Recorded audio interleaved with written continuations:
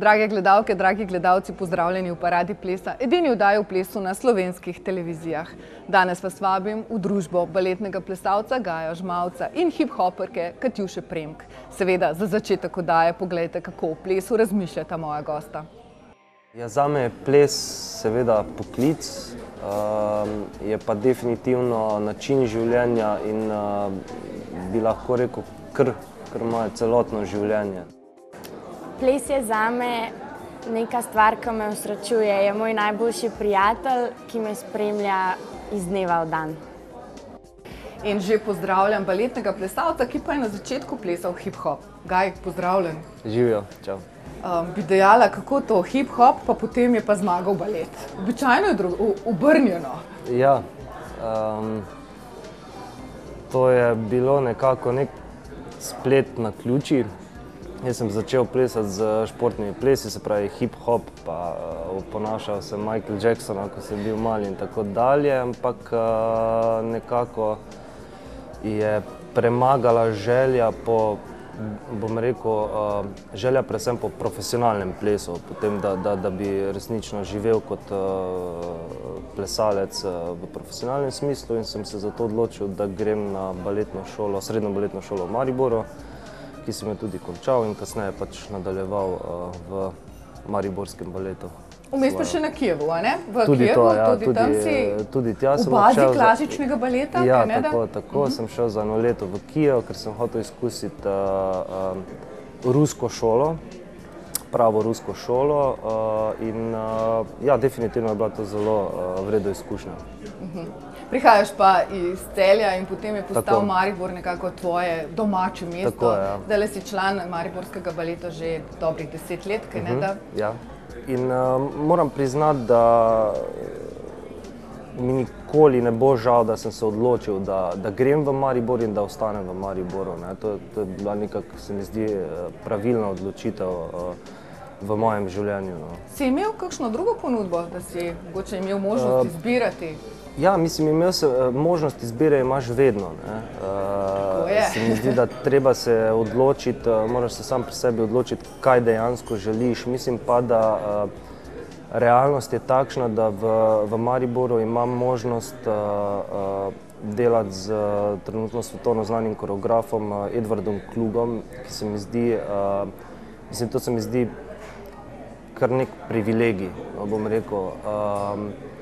In uh, tudi zaradi našega mešanega repertoarja, kjer lahko uh, delam in uh, moderne stvari, sodobne stvari uh, in pa seveda klasiko, se mi zdi, da je to zelo, um, zelo vredno okolje za me. Zdi se, da te je v letu 2015 nekako zaznamovala ta smrt v baletu Per Gint. Uh, Zdi se, da je bila pisana na tvoje telo. Bi se strinjal z mano in seveda s kriti, kritikami, ki so te nekako tudi tako ocenile. Ja, uh, mislim, sem zelo vesel, da je ta vloga izpadla uh, tako, kot je. To se pravi, če je koncept neke vloge močen, uh, če je ideja dobra in solidna, uh, se da potem tudi iz vloge narediti dosti. Ne. Če sama ideja, če sama vloga medla, uh, je zelo težko narediti kaj več iz nje. Uh, in seveda, uh, skozi neko improvizacijo, skozi neko um, ne vem, raziskovanje, pač uh, nastala potem ta smrt, takšna kot je. Ne? In uh, moram reči, da sem zelo užival in v, in v procesu, ki je bil zelo sproščen, in uh, potem končni rezultat te vloge, ki je, um, mislim, da zelo, zelo zanimiva, nekaj posebnega. Dejal si tudi, da se nekako ne vidiš kot nekakšen lirični plesalec, Ja. bolj plesalec energije.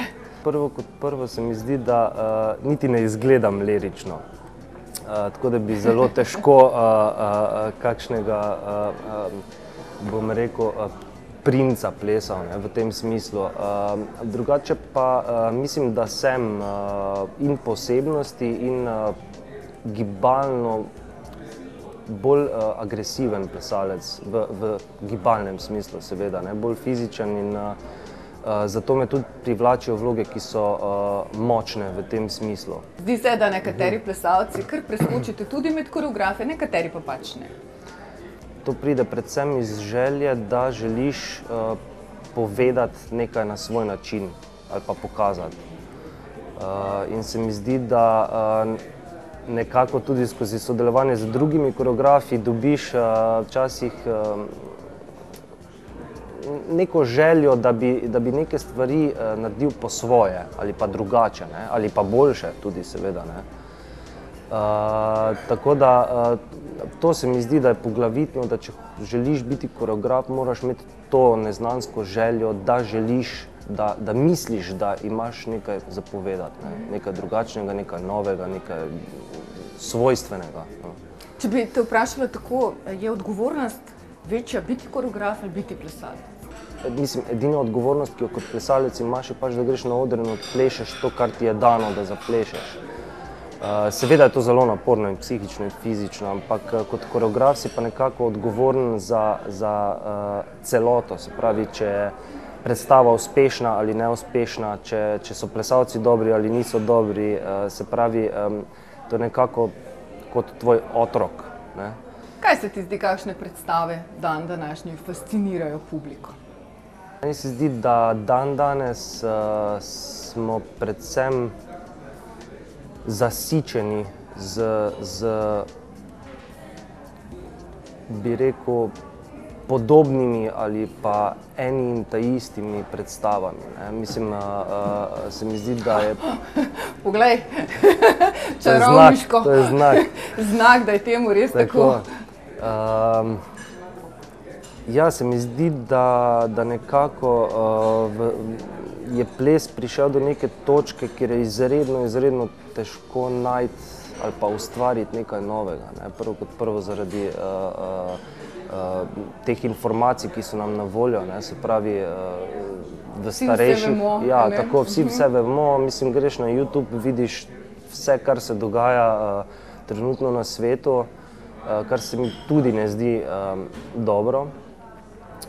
Uh, je pa tudi tako, da ogromno stvari so si ljudje, koreografi uh, skozi uh, desetletja in stoletja že izmislili. Ne? Tako da je zelo težko najti resnično in ustvariti nekaj novega in nekaj originalnega. Kaj tebe recimo zanima, um, ko, ko ustvarjaš, ko koreografiraš? Sam pri sebi se, se uh, trenutno uh, ukvarjam predvsem z, z tem uh, vprašanjem originalnosti. Se pravi, uh, vprašanje, ali je sploh smiselno ustvariti še eno koreografijo, ki smo jo že videli, ali pa še, en, še eno gibalno stvaritev, ki, ki, ki, je, ki jo delajo vem, še 500 koreografov po svetu, ne, istočasno.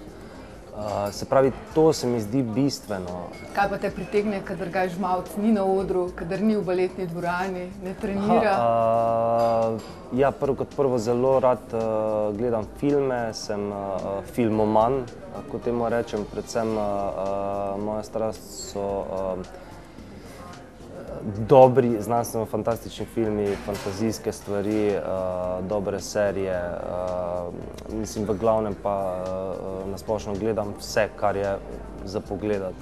Tako tudi berem dosti. Um, uh, in pa seveda, včasih grem na kakšen tenis. Uh, Igram pa zelo rad tudi šah. Aha. Ja. Tam pa vendarle rabiš in možgansko koncentracijo ja. in telesno koncentracijo. Ni premikanja. Uh, razen... Ni premikanja, tako razen, razen miselnega. Ja. Okay. In tale turba, uh, da zdaj naštejeva, kaj notri bi dobila en DVD znanstvene fantastike, eno šahovsko figuro uh, ali nič od tega? nič od tega, ampak um, se pravi, ta torba v bistvu je edini predmet, brez katerega ne grem nikamor. Uh -huh. Uh, Notri imam pa čisto vsakdanje stvari, se pravi moj uh, uh, prenosni računalnik, uh, ki ga vedno potrebujem, uh, moj telefon, uh, denarnico, očala in uh, razno razne stvari, ki pridejo zraven. Kakšna skrivnost? Uh, ne, ne, nobene, nobene skrivnosti. Nobenega ja, srčka nobene, za srečo, ne. pa ga ne bi našim gledalcem razkril. Nisem vraževeren. Da, um, Torbe menjaš ali je to ena taka, ki je, ne bom rekla, da je zguncena, ampak je. Ja, mislim, da uh, uh, bom, bom rekel, da kar rad kupim kakšno novo torbo. Jo, tako. tako malo požinsko, ja, ja, ne recimo, ja, mal, maličko. Ja. Okay. Gaj, Kaj si želiš v letu 2016, kaj bo fokus leta 2016? Um, ja, da bi bilo čim bolj uspešno, uh, čim bolj plesno in um, predvsem pa zdravo. Evo, Tako je, brez zdravja Ja, ni ničesar. Ni ničesar. tako. Gaj, hvala, ker si bil gost Najlepša oddaje Hvala tebi. plesa. Hvala. To je bil Gaj- Žmavc, ki nam je tudi podaril del scene. To je vse vpliv njegove smrti v Peru Gintu. Če še niste videli te predstave, vsekakor jo priporočam. Zdaj le seveda obvezni oglasi, potem pa bomo hip-hopali s Katjušo Premk.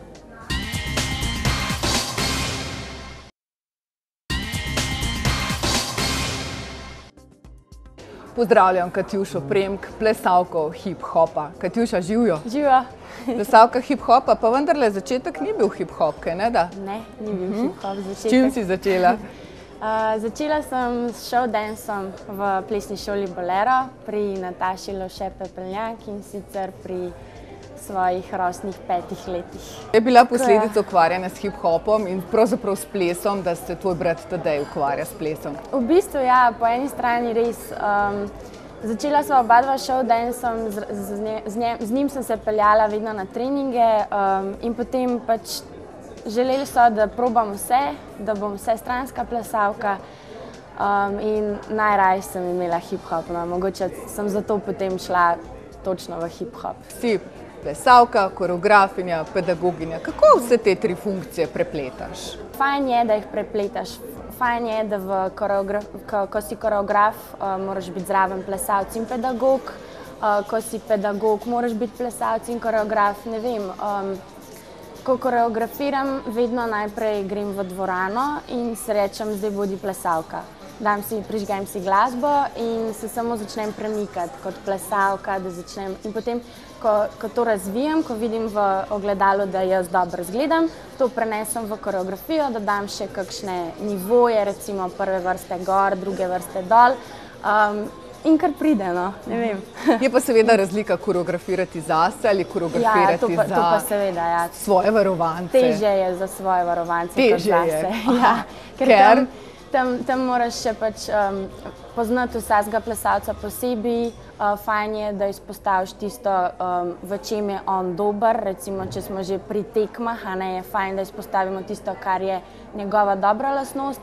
Seveda pa pol v, v procesu um, njegovega napredka je pa fajn, da da se ukvarjamo z, nje, z njim tudi v tem principu, kaj on ne zna, da on napreduje. Tako da fajn je, da poznamo plesalca, da vemo, kaj mu leži, več je poglabljanja v zadevo. ne. Pri sebi recimo že veš, kaj je tvoja dobra lastnost, ne. pri njemu ga moraš pa spoznavati, da potem izpostaviš. Dejala si mi, da bi za ples pravzaprav la- naredila vse. To sem mislila tako, da, da bi veliko tvegala za svoj ples. Recimo, če bi zdaj dobila kakšno ponudbo, bi lahko pustila vse, da bi pač uspela v svetu. a ne. Se pravi, največ mi pomeni družina, prijatelji in pripravljena sem tudi to pustiti za sabo, da bi lahko uspela. Pa se ti zdi, da ponudbe pridejo same od sebe ali ne? Ne, je ne. treba Je dati treba, ti prvo. Tako, ja. i- Še i- posebej danes, ko je tako veliko dobrih plesalcev, sploh v tujini. Uh, hvala Bogu imamo YouTube, a ne, ki je, moram reči, da danes zelo, zelo pomembno, da objavljaš posnetke, da si veš čas um, v stiku z javnostjo, Facebook, Instagram in tako naprej. No. Vsa ta socialna omrežja Tako, ja. pripomorejo k temu. popularizaciji in k promociji. Ja, pripomorejo zelo. Omenila si eh, studio Artifex, Mhm. uh, ni skrivnost, da ste se pred, letom, pred leti odcepili od plesnega kluba Bolero. Takrat je bila to kar precejšna korajža. Tako je, tako je. Uh, zelo je bilo težko. Jaz sem sicer šla uh, eno leto kasneje iz Bolera. Um, vseeno sem imela tam neko zgodovino, vseeno sem tam postala plesalka, tam sem odraščala, imela sem rada vse tam, svojo trenerko Niko, ampak treba je iti naprej. Tudi nje ni bilo več veliko v, um, v, v plesni šoli. Um, in videla sem tam, da moj trener gre žiga, ne, in sem si rekla, ja, nič. Pač, mogla sem napre, napredovati, mogla sem poskrbeti zase. Na vse zadnje moraš na koncu vedno gledati na sebe, ne na to, kak, kje si odrastel in tako naprej. Ne. Žiga Mlakar je tudi odšel uh, v tujino. Ja. Nekako se mi zdi, da vi, plesalci hip-hopa, kar odhajate. Zakaj? Ja. Je Slovenija seveda premajhno tržišče in premajhen odr. Tako ja, je premajhno tržišče. Uh, Na vse zadnje imamo tukaj bolj plesno zvezo, IDO tekme. Tam sem že nekako dosegla skoraj vseeno. Veliko sem vlagala tam, um, ukvarjala sem se 15 let samo s tem, zdaj bi pa rada postala profesionalna plesalka. To smo že probali, smo že šli na te tekme ven v tujino, ampak vedno kot skupina. ne. Jaz bi rada uspela še sama. In, um, tukaj se kot plesalec bolj malo zasluži, če se hočem preživljati s tem, um, je treba iti v tujino. No. In boš odšla, če bo le priložnost. Tako je. Nič te ne bo, ko diplomiraš. Dobro, to verjetno vsak starš želi, da Ja. narediš kljukico. Res je. Kaj ne da. Zelo ste ponosni tudi v studiu Artifex, da ste nekakšna homogena skupina, v kateri ni ljubosumja, spodbujate drug drugega. Se mi zdi, da to pri vas zelo poudarjate, da ste odprti za vse Ja. resne klube. Vam Tako. uspeva.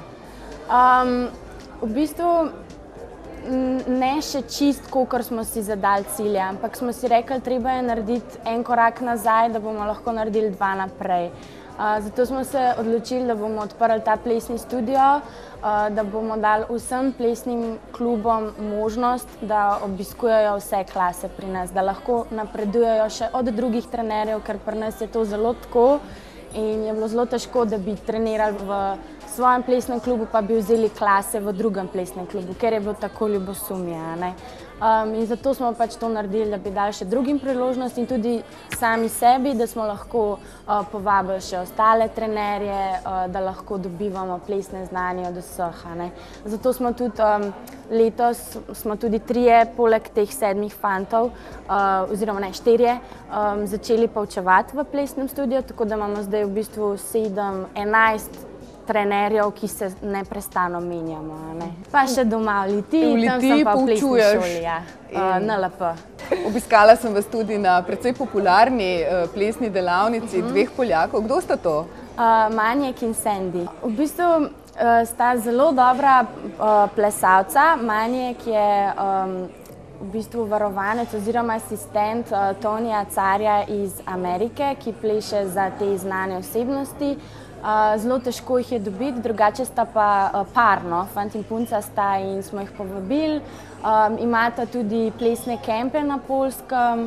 Uh, pač učita po celotnem svetu, oziroma bolj po Evropi. No.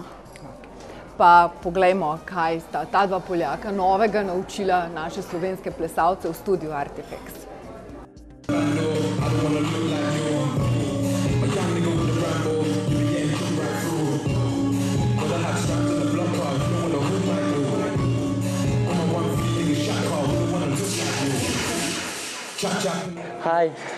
yeah, my name is Maniek. I came first time to Slovenia, and I'm super excited because uh, it's kind of connect with my past.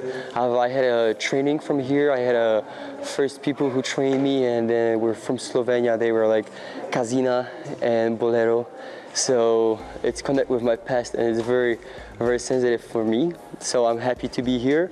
Uh, the students are awesome. The energy is great. It's no pressure, so it's very, very cool. It feels, um, it feels good. Slovenia, and there's a few little countries other, and we all have like kind of similar style and a little bit different way of hip hop, but it's still groovy and still bouncy. At the moment, I think everything is so mixed but at the same time we all have to know our base and the roots uh, and the basics and from this it's growing up and it's switch and uh, develop the movement and then something else is create something new and but it's still hip hop. And then as we have all those little things we just create something new and every each person can create something new. So this is the mix of everything right now i think. Women can be more feminine and it's not Um, especially for me, it's not good to see men dance like women because it's like men should be men, you know. But at the same time, there are styles that are feminine and star styles that are more for men. But then within those styles, either men and like women can find something for themselves. So like in classes or um, on YouTube, you can see videos where you can see women dance like men and really like strong and have that energy and power. And then also nowadays, you can see women dance in heels, you know, and teach women how to move, how to walk in heels. For me, it's popular because it's in the it's in the media like YouTube, like Facebook, it's all around.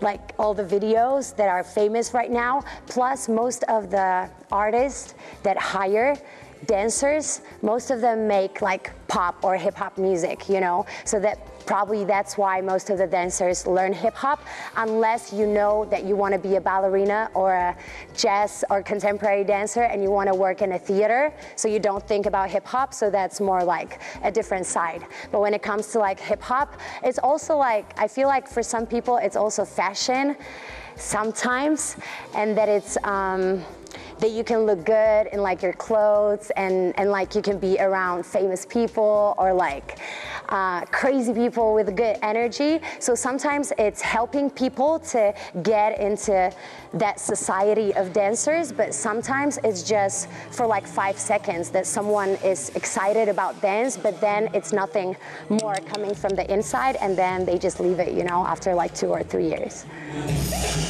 Predvsem se odločamo za te seminarje pač na podlagi um, tega, se pravi, te vizije, ki jo imamo s fanti, se pravi, da v bistvu že v našem plesnem studiu zdaj ne. Imamo deset različnih koreografov, v katerih ima vsak nek pač posebnega, kar lahko našim plesalcem dane. Uh, dejstvo pa je, da tudi zunani um, koreografi pol prenesejo full svežine in v bistvu na podlagi tega smo se že na začetku sezone odločili, da bomo probali vsak mesec pripeljati tudi enega zunanjega koreografa, se pa odločamo ponavadi predvsem na podlagi tega, se pravi raznovrstnosti in ponavadi pripeljamo taka imena, ki sicer niso ful znana, ne, ampak imajo dejansko ful več znanja. Je pa dejstvo, da zaradi tega mogoče malo trpi obiskanost klaso, ne? ampak je čisto odvisno. Rečemo, kakšen včasih gre dobro, če je včasih malo manj, ampak konc konca je važno to, se pravi, da je res non-stop, non-stop nosimo sveže znanje v studio in ga pač lahko podajamo svojim plesalcem in ostalim plesalcem, ki prihajajo na študijo.